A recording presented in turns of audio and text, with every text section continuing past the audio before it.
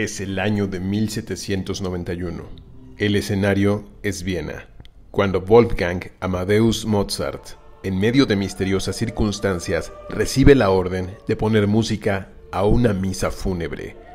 No conoce a su patrón ni a la víctima, pero Mozart acepta el encargo.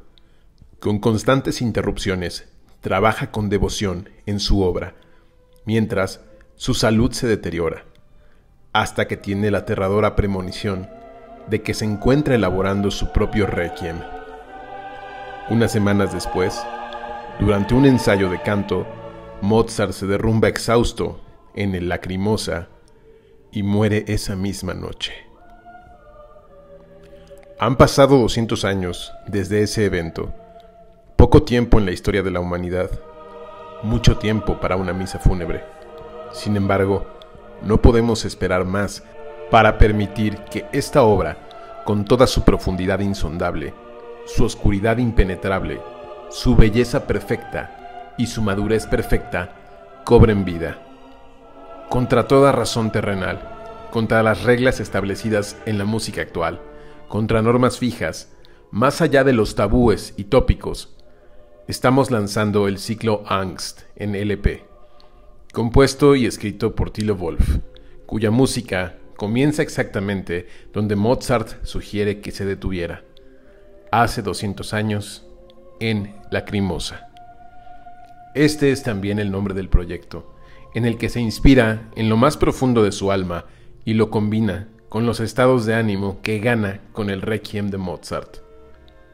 Cómo los abismos oscuros se convierten en alturas dichosas como el desamparo y la angustia más profunda del alma se convierten en una calma completamente increíble, como un miedo existencial opresivo surge de la perfecta armonía. Estos son los sentimientos y sensaciones que nos transmite Lacrimosa. Así es, como este proyecto inspira, escribe, sacude y anima a la vez. Y de hecho, es la profundidad, el poder de la vida emocional más íntima, lo que nos ha atrapado y todavía nos mantiene firmes. Nacido un 10 de julio del año de 1972 en Frankfurt, Alemania, y descendiente de las familias Wolf y Bischoff, Thilo Wolf adquiere una sensibilidad temprana, fuera de lo común. Siendo el menor de dos hermanos, su vida transcurre a través de las más frágiles vibras y se desenvuelve en perfecta sintonía con sus sentidos. Quizá no era consciente de ello en su mocedad, pero lo que es cierto es que esa sinceridad, esa desnudez interior, se ha visto plasmada en cada composición musical hasta la fecha. Lleno de inquietudes por los placeres del arte, es que comienza a fraguar la idea de transformar lo intangible que se quema en su interior en algo material. Tilo Wolf decidió acudir al mundo de las letras, poniendo sobre papel sus conflictos existenciales aunque podría ser incluso arriesgado decir que en ese entonces ya era un poeta. Gracias a su inclinación musical, derivada de algunas clases de trompeta en el liceo y de grandes influencias como Bauhaus, Joy Division, Pink Floyd, Leonard Cohen, David Bowie y grandes clásicos como Vivaldi, Pachelbel o Mozart, es que emprende un fanzine de análisis musical y poesía, distribuyéndolo entre sus amigos y compañeros de escuela, pero el proyecto aún no era suficiente. Las necesidades de su alma aún no estaban satisfechas. El proyecto musical que Tilo Wolf mantiene hasta el día de hoy comenzó como una simple idea de crear una dimensión sonora alrededor de sus textos, mismos que él creó a modo de expresión personal, en lugar de limitarse a escribir un diario. Por ello, decidió ponerse a practicar en el piano de sus padres, instrumento que siempre soslayó con inquietud y que hasta ese momento nunca había usado. Fue en una tarde de verano de 1990 que procedió a musicalizar un poema de su autoría, Zelle y Not, y así fue que nació Lacrimosa. Bautizado como la quinta parte del tercer acto de la misa fúnebre que acabó con la propia vida de Mozart, y a modo de dar continuidad a ese legado musical, es que Tilo Wolf se siente seducido a usar esa palabra en latín que significa lágrimas que fluyen. y no pudo haber elegido un mejor nombre para su, hasta ese momento, proyecto personal.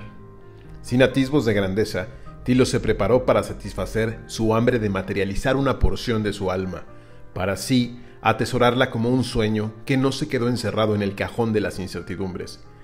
Lacrimosa nació entonces en el invierno de ese mismo año, compuesto por un demo de dos piezas, dentro de un cassette limitado a 100 copias, mismo que más tarde sería conocido como Clamor.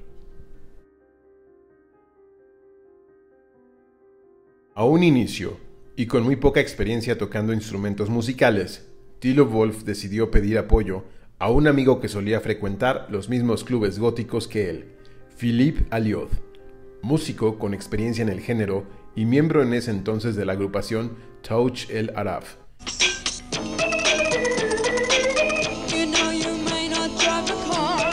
Quien, gustoso, decidió apoyar a su joven amigo en su nuevo emprendimiento. Bajo una guía en el uso de diversas cajas de ritmos, Tilo Wolf se aventuró a poner pistas musicales a dos de sus selectos poemas, Zelle y Not, y otro más al que después titularía como Requiem.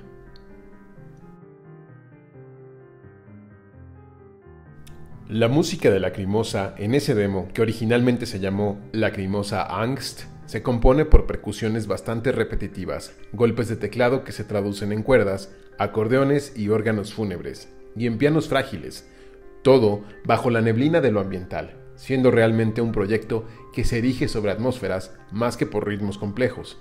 El canto, por otro lado, está muy bien equilibrado con la música, pues tenemos a un muchacho de 18 años con un tono de voz grueso y en ocasiones impostado que recita las cosas de forma aletargada, suplicante, lleno de miedo y sumamente trémulo.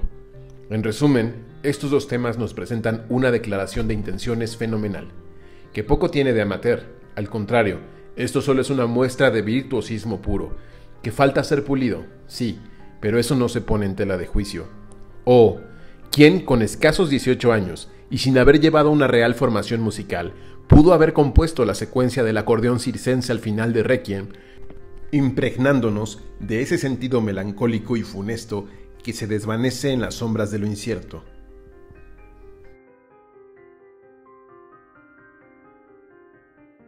El primero de diciembre de 1990 es lanzado el demo Lacrimosa Angst, cuyas 100 copias fueron distribuidas entre su círculo cercano, su familia, sus colegas y los clubes góticos que frecuentaba. Ya que su intención primordial era entregárselo a los DJs en turno para que lo hicieran sonar dentro de su selección para la noche, Tilo Wolf siempre ha dicho que uno de los motivos para crear música fue que lo que ponían en los sitios nocturnos de su agrado nunca terminaba por satisfacerlo al 100%. Por ello, era menester crear eso que él necesitaba escuchar para sentirse parte del ambiente nocturno. Al día de hoy, la cinta a la que después se le conoció como Clamor es prácticamente imposible de conseguir, ya que esas 100 copias caseras no estaban planeadas para formar parte de un gran proyecto de distribución ni había muchos planes a largo plazo. Es más, el propio Tilo Wolf ha declarado que tras escribir Requiem, creyó que había alcanzado su máxima capacidad musical y que no podría continuar componiendo.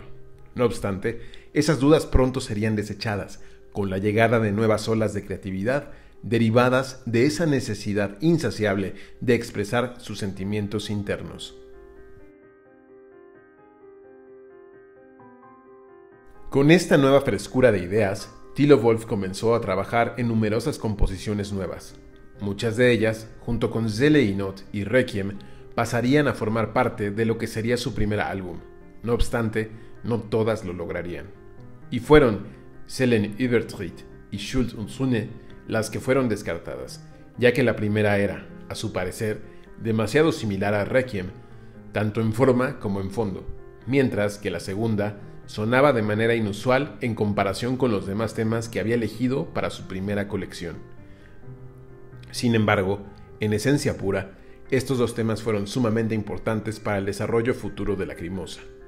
Veinte años más tarde, los conoceríamos gracias al recopilatorio de aniversario Shattonsville.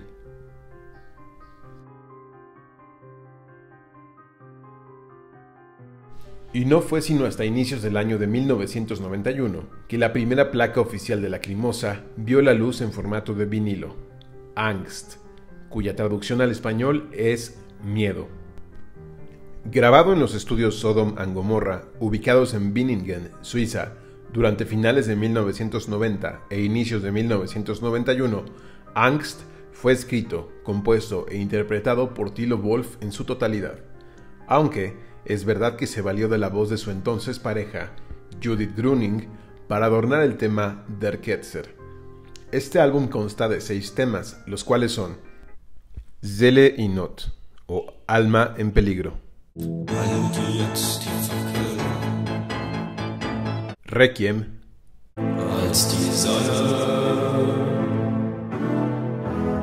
Lágrima Mosa, un tema instrumental que básicamente se compone de piano.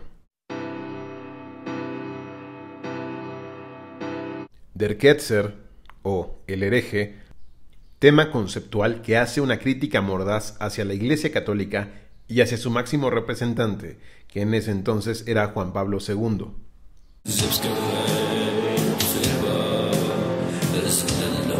Der letzte Hilfeschrei, o El último grito de ayuda, tema en donde se hace un símil de una persona en sus últimos momentos de vida y en donde incluso se escucha un marcapasos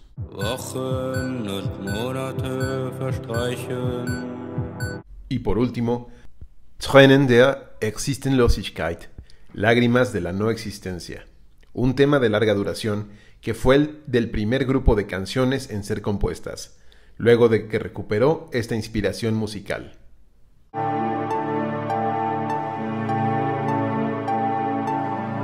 La placa fue vigilada de cerca por Philippe Alioth, quien hizo la masterización del sonido, pero en gran porcentaje fue producida por el propio Tilo, quien, a sus escasos 19 años, estaba decidido a que no entregaría su obra a voluntades ajenas, y para ello se permitió el lujo de crear su propio sello discográfico para poder lanzar su obra, Hall of Sermon, fruto de varios meses de trabajo y esfuerzos. Y no podemos omitir otro de los sellos característicos del proyecto, el arte de portada en función de poder otorgar esa visión decadente, melancólica y oscura que rodeaba a Angst, Thilo Wolf contactó a Stelio Diamantopoulos, un ilustrador que supo darle una forma visual a las letras y a la música de Lacrimosa. Asimismo, también fue el encargado de rediseñar el logo tan emblemático que hoy todos conocemos, el del arlequín sosteniendo el título del proyecto y por debajo el título del álbum correspondiente.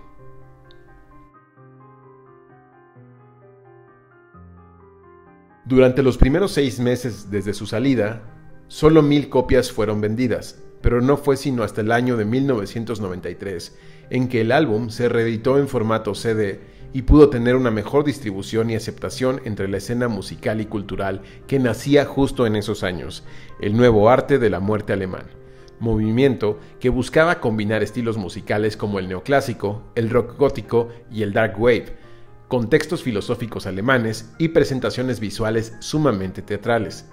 Conformado por un grupo de artistas de la talla de Goethe Serven, Sopor Eternus and the Ensemble of Shadows, Das Ich, Relativ Menschen y Endraum, este movimiento se vio permeado de la filosofía de pensadores de la talla de Goethe, Nietzsche, Griffius y Gottfried Benn, así como de poetas internacionales como Edgar Allan Poe, Charles Baudelaire y Jean-Paul Sartre por mencionar algunos. Asimismo, los conciertos de estas bandas ponían demasiado énfasis en los vestuarios, las luces y el maquillaje, ya que las presentaciones debían de simular un ambiente mortecino y lúgubre, mientras que los temas a tratar eran recurrentes al nihilismo, lo diabólico, el surrealismo, el expresionismo alemán, el existencialismo, la crítica religiosa, la violencia, locura, desolación, depresión y sobre todo la muerte. Una seña particular de todo este movimiento fue el uso del latín para sus líricas y los títulos de sus álbumes.